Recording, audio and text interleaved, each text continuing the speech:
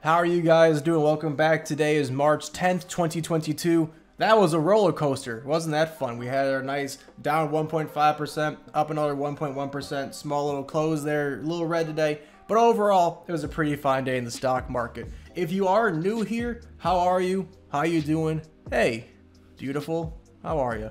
My name is Evan. This is uh, By the Bulls Trading, the only stock market channel that encourages you to take your trading by the Bulls. I'm Evan, aka my mommy's favorite, aka Lord of Cats. Meow. And of course, John Stonkton. Pulls up three pointer. Bang! Bang! Chef Boyar Swing. Hey, Mambo. Mambo Italia. And of course, Bruce Wingstein.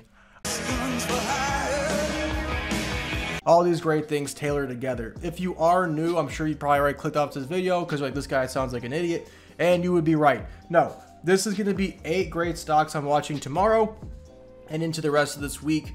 Uh, tomorrow and then into next week actually, because it's Thursday. Idiot. So these great plays are going to be viable for watch listing. Put them on a list somewhere. Keep track of them. Keep track of these tabs. Even if you don't love them tomorrow or even over the weekend or next week, these plays are very much viable. No one else is talking about these. We don't ride hype here. We're not about, oh, let's just go on Google Trends and find what's popular. We talk about what's good, quality, and then folks who find us stick around. Welcome to the community. Welcome to the family. If you enjoy this kind of content, please check out the rest of my videos on YouTube. I have a 25 part class for free for you. Go check it out. I like it. I love it. It's there for you. It makes you a better trader off the bat. Secondly, my Discord Patreon is still available. Uh, won't charge you till 4-1. Consider a free trial on your boy. Go check it out. We'd love to have you. And if you don't like it, leave. If you do like it, stay. If you don't want to check it out, just stay here with me. You're in good hands. Like a good neighbor, Evan is there. So, uh, last thing I want to mention is that I would really appreciate if you like, subscribe, hit the bell notification. It's a free way of supporting your boy, and it makes a big difference to me. One, I will cry less when I fall asleep because I have random folks online who support me. And two, uh, I just like having the likes so I can verify and validate myself and my ego. So I'm gonna give you five seconds. Sounds awkward enough. Five seconds to scroll off my big stupid face to encourage you to do so. We're gonna have some horribly awkward eye contact. It's gonna encourage you to scroll off my face. Scroll down now, like, subscribe, bell notification. Let's want to see my big dumb face. Let's do this. Prolonged eye contact.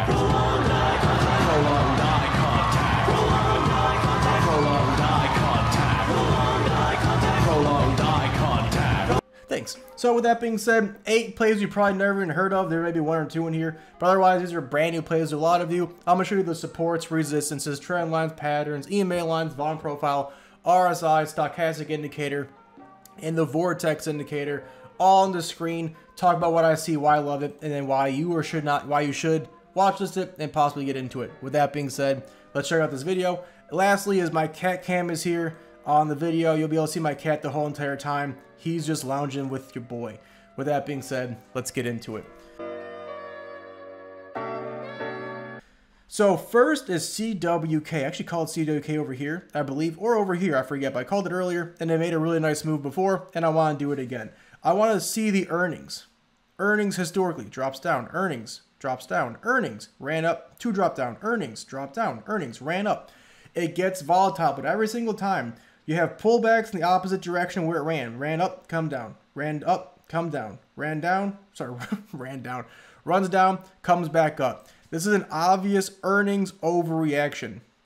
There's no way you're telling me this company is now worth 20% later because of some numbers that actually came out just fine. So I think right down here, it's a great earnings overreaction. Secondly, the old resistance area, this old resistance area has become just an absolute beautiful support area as of recently, right? It's not been tested much, but it seems to be holding just fine.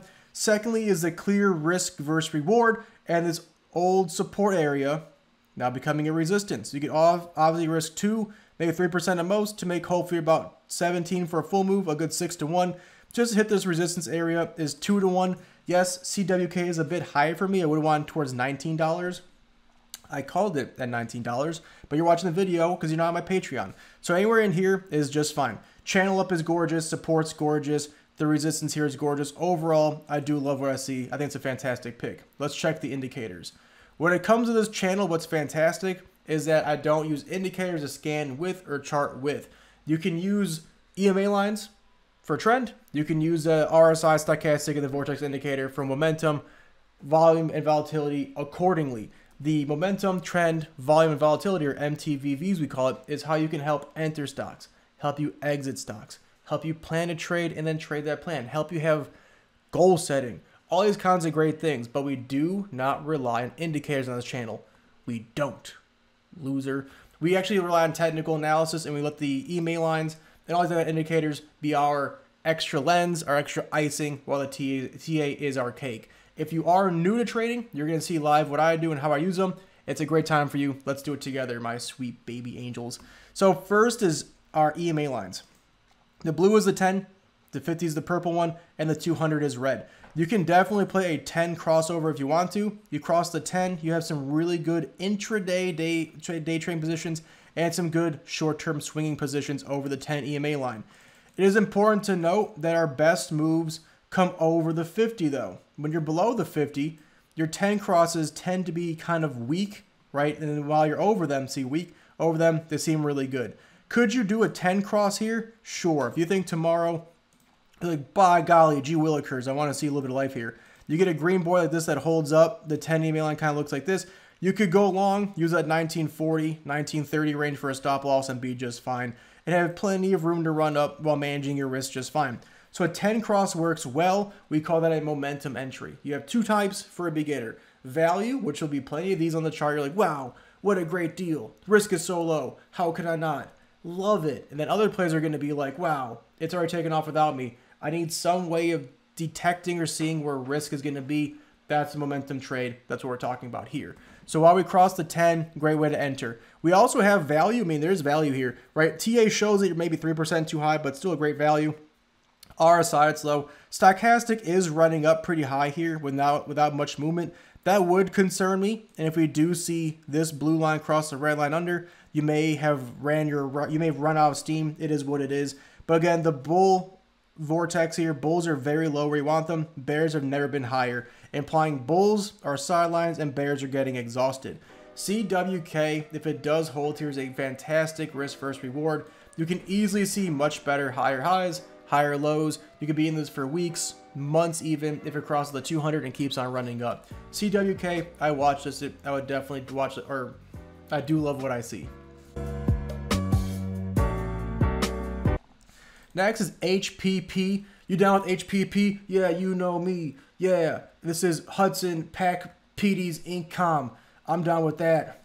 Losers. So HPP here is a great broadening wedge. What this means is that a new pattern is going to form soon, right? You have skinny moves into broader moves. What's going to eventually happen is that the price action is going to either hug this resistance or it's going to hug this trend line.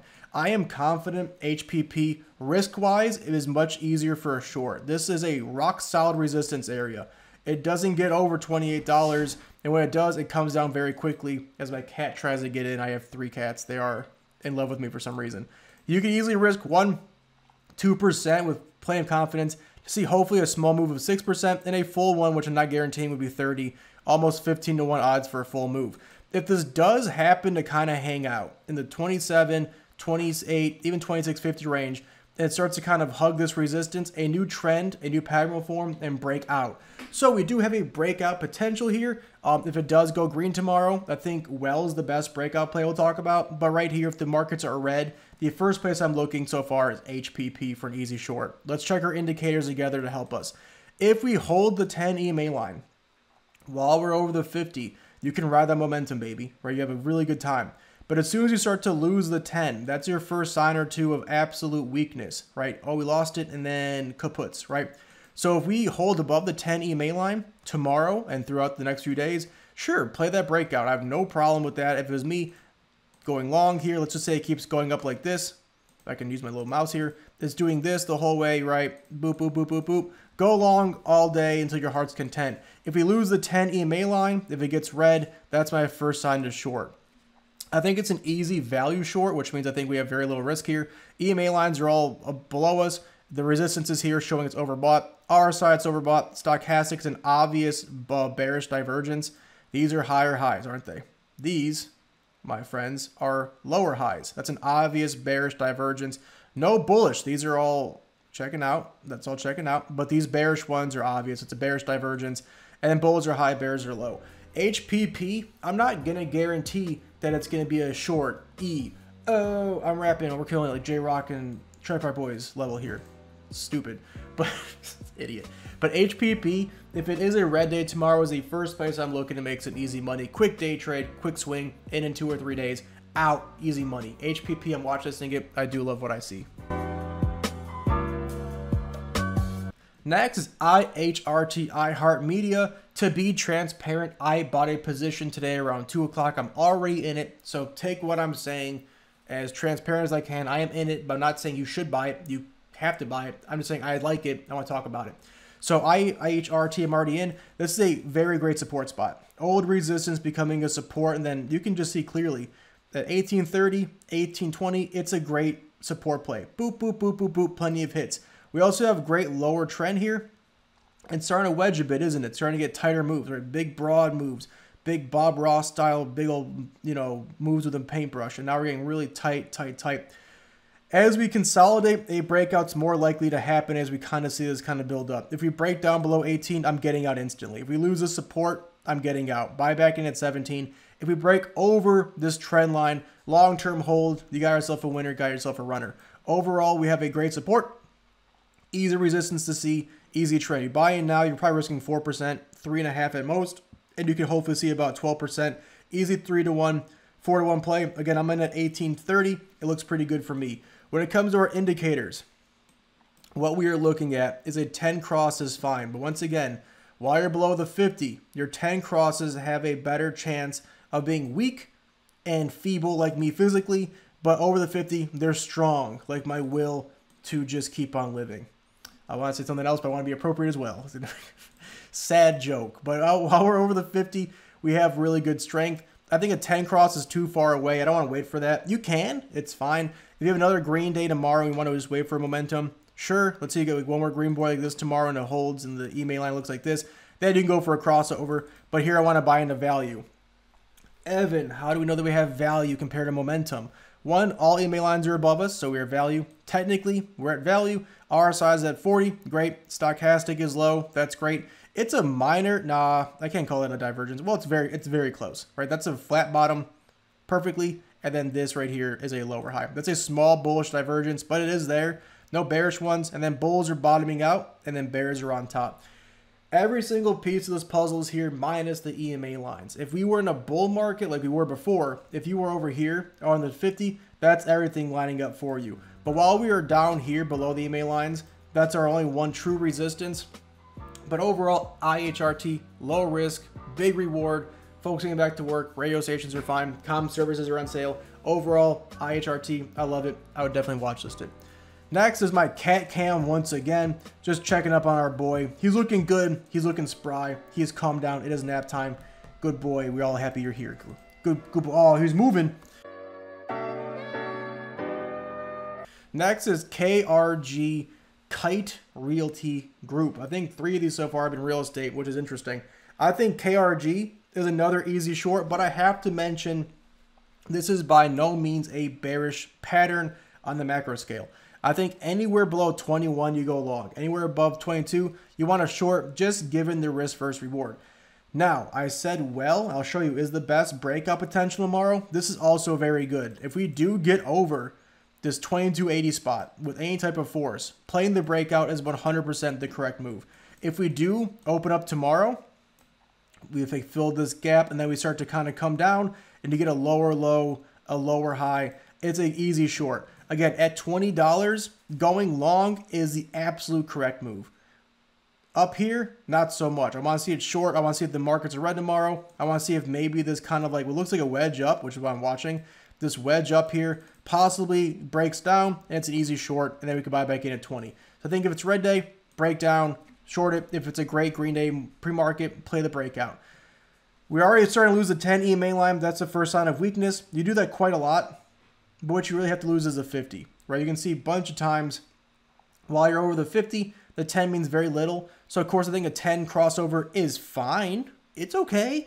But until we lose a 50, it doesn't really mean much. I would definitely short because of value. What do I mean? RSI is a bit high. Stochastic is high and coming down. This is a clear bearish divergence. That's a double top. And this right here is a higher one. That is a bearish divergence, not a bullish one. The bottoms match, right? The bottoms match here. Not a bullish divergence, it's bearish. And then bulls just crossed under the red. Ooh, tough break for KRG. See you, nerd. So I think KRG here's a very easy short if the markets look red. If the markets look red, make sure you check. Because if you're just going to short it because I said so, you're stupid. And you have to make sure you double check. This is a very easy breakout play if it goes green in the markets. Now, I think there's better breakout potential, but I would definitely watch this this one and check it. If it does show red, easy short. I love what I see. Next is MMP. You down with MMP? That joke is played out. So MMP here is a great looking resistance play for a short again tomorrow. Obvious lower highs, even currently. 50 sorry, $50.50, 55th, you got the Crip Mac here is definitely a higher high. But until then, you have lower highs and of course lower lows as well across the board here. Recently a higher low, but you can just see it's coming down nicely. A possible channel down here I was looking at, it may be something more like along lines of this. We're going to see. But overall, this resistance is very tough, right? Traditionally, trend-wise, it's not doing much here. You can risk 1, 2% realistically to make hopefully about 6 And for a good move, close to 9 easy, 4 to 1, 5 to 1 kind of play. This resistance is holding. The support's far away. Would I go long eventually? Yeah, if I could see $45 and some change, I'm going long 100% of the time. But up here, I think if the markets are red, this bad boy is destined to fail. When it comes to our indicators, again, a 10 cross is fine for a first sign of weakness, but you can see the 50 is really the juggernaut here. If you lose the 50, that's when you're in trouble. So I don't think waiting for a cross under is a terrible idea. It's 2% away. That's probably one fourth of your maximum profit you're going to see. If you cross under the 50, use the 10 EMA line as your SPY limit so you don't get caught shorting and getting you know, blasted out. That's fine. So I think a 50 cross is fine, but I do think that shorting here makes sense. When it comes to our indicators, RSI, it's high. Stochastic, it's high. Again, we have an obvious bearish divergence. It's obvious from Pluto, my dude. These are not right. These are higher highs. These are lower highs. That's clear. What's interesting, though, is that we also have, when, when consider, is a possible small bullish divergence. Interesting, it's forming both, and then bulls and bears are tied, but bulls are crossing over here. This is more of a this is more of a confusing one because MMP again can truly go either way. What's getting dictated is macro markets and whatever sector and industry it's in, where that goes as a whole. If the green crosses the red with strength, the RSI has room to run. This bad boy could easily break out and go higher. But if there's a red market and everything starts to kind of curl south, this bad boy can collapse very quickly. It can go either way. Plan a direction. If it's me, I'm going to go, I want plan red for this bad boy. Make my plan on red. If it breaks out, I'm not going to touch it. If it goes red, I'll play it. That's what I would do. Risk management, make a plan, stick to the plan. Plan a trade, trade a plan. It's that simple. But I think MMP, easy play. I would definitely watch list it. Our last cat cam of the day is zoomed in real quick just to show you he's looking good. He's looking sleepy. Can I possibly get you a good angle? Oh my goodness. Wrong way. Oh, oh, oh, oh, there he is in all his glory. He's here. We're so blessed that he's here. Next is NEXT, another great short. I'm not going to harp long on this one. It is the literal exact setup as MMP, almost to a T. Boy, my rapping today is gross. This is a great looking in. Possible channel down off a big move. And this resistance area is rock solid. Old support. Becoming a resistance. Can easily risk 4 or 5%, you know, small move. To see 20 on a good move, a great move would be almost a trade of the year, if I'm being honest with you. It is a penny stock. It's going to be volatile. You have to have cojones. You got to have just nuts, or it's not going to be doing what you want it to do. So make sure you guys have a plan. Risk management, anything over four dollars of four ten. If it starts to show weak up here, easy risk versus reward. I do love what I see. The exact same things I said before can be applied here. While you're over the 10, you're going to have a good time. Below the 50, you're going to have a real bad time. I'm not going for a 50 cross under, but a 10 one, if I can get 10 cross under and see 4 or 5% easily, easy day trade for a short here if we lose the 10. RSI, it's high. Stochastic, it's low. But before you're like, what is it? It's low. Ugh. Look at this. Again, my boy, these are lower highs. These are higher lows. This is a bearish divergence. It also has no bullish divergence. This is a low to a high. This is a low to a high. It's a bearish divergence. Bulls are on top, bears are low. What more do you want from me? I think NEXT here is a very easy short. If the markets look weak, easy money. You can make 7, 8, 10% a day. Make your whole month if you levered properly with good risk management. Overall, NEXT, I love a short here. I would definitely watch this. I do love what I see. Next is WAB. We have a good, uh, you know, Waluigi joke here. This is a Wabtec looking play. A great play. I was uh, cussing up a storm at my pre-market video for my Patreon uh, that I missed the entry here. I saw it. I knew it was going to stay, and they ran up 2% here. And again, some of you are like, it's only 2%. Well, you're down like 4% of your portfolio, so shut up, loser. So, just, just kidding. But WAB here, great trend up, great channel up here and it's starting to form a gorgeous support. I zoomed in like an idiot. This area at 86 and 87 is absolutely rock solid. If I can see it lower, I want to buy in at 88. What I'm seeing though that's beautiful is just this gap. That's a nice gap. You know what I mean? This is a really good looking gap here. The reason is on any time frame you choose, 9 out of 10 times gaps get filled. What do I mean? Gaps usually show two things. One, a gap, usually a big one, is that daily or at least the next like week or so, the momentum's going to be extremely hard in that direction and it's not going to come back and touch it, or in many cases, it gets filled.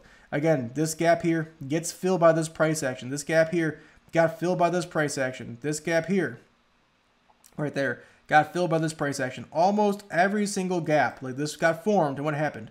Price action went, let me fill that real quick, and then took off after that.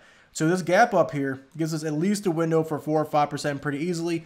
The risk is higher because it already took off, but overall, a channel up with a great gap I want to see filled. Pause. Uh, EMA crossovers, no bueno. It's too far away. I don't want to wait, you know, 2% my whole entire profit margin for a crossover. But I do get one because I buy in the value and it holds. I'll be happy to run up all three of these you know, if we get over this and it holds over the 200, the 50, or the 10, we cross, we hold over, I'm cool with that. Overall, RSI though, stochastic, it's low. I don't see any divergences. This is not a, this is a small bearish one. That's why it dipped on us. See this? Oh, no match. See that? That's why it came down. But you can also see on the more macro scale, these are lower highs, right? So that, ch that checks out. That's okay. That's good. Now, when it comes to our bullish divergence, you know, there's a possibility for one here. And I'm not putting a lot of emphasis into it, but overall, negative 4 is a good value. Bulls are on top, Bears are tied. We're consolidating. It makes sense. We are going sideways currently. WAB 2% lower is an absolute steal. Chef kiss. And I think here still, it's a really good play. Overall, I'd watch this. dip. I do love what I see. Lastly, as well, this was an easy short at $89. But now that we have this, you have two options. One, hey, it's still an easy short. This is definitely overextended, which it is. I mean, this is not natural. It's 1% a day. That's pretty crazy. if I zoom out, um, this is literally pre-COVID resistance. And again, even farther over here, the POC is pre-COVID. I mean, this is a very, very untouched territory. But if you always think, I'm late, I can't enter, you're never going to be early deep thoughts. So I think that going long here for a breakout is fine when you have an EMA line we'll watch and see where we're at. But I think also it's a very easy short. Again, what's the determinant for me is where the macro markets go. Easy short if it's red, easy breakout if it's green. If any of these plays tomorrow is a breakout, it's WELL for sure. When it comes to our indicators, this is critical. While we're over the 50, the 10 run-ups are gorgeous, right? So if you hold the 10, you can continue to go long. But as soon as we lose the 10, I would probably get off this bad boy and retest at the 50. It's overbought. It's overbought. Mm, it's overbought, right? So it's definitely up here, which is all-time highs. But as long as we close over the line, we're good to go. And just to clarify, you see how this closed over it? See how this closed over it? All right, if we have a red boy that closes like this and the body's beneath the, the EMA line, that's what I mean. If we're over the EMA line, if we wick down and come back, that doesn't count. So long as we're over the 10, you're good to go long for a breakout. If it does come down, easy short. Overall, W-E-L-L, I'd watch this. I do love what I see. Thank you so much for being here. It means the world to me. We'll see you guys on Sun, actually Saturday. We're going to be doing my review of picks and actually all my purchases and why I bought them and how they went and turned out. So see you guys on Saturday for that episode and catch you guys on Sunday for another watch this. Thank you so much for being here. Check out my Patreon. I want you to check out the Patreon. We'll see you guys later. Thank you so much.